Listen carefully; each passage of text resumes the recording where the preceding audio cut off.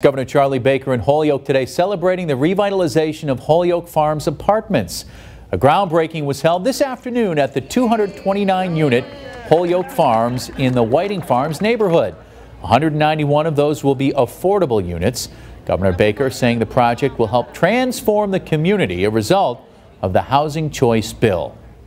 Communities need to be able to rethink and reimagine their communities, which means, among other things, creating housing office space, hospitality, some retail, but to really be able to invest in this whole idea of live, work, and play.